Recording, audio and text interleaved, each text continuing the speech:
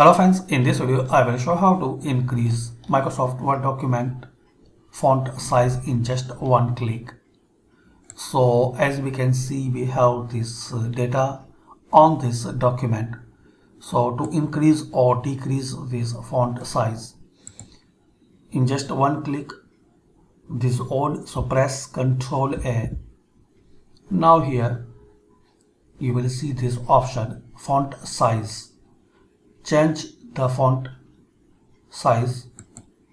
You can select your desired size.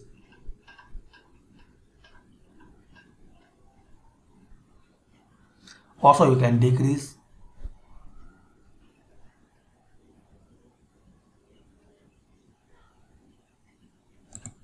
So this is the way you can increase or decrease font size in Microsoft Word document Thanks for watching.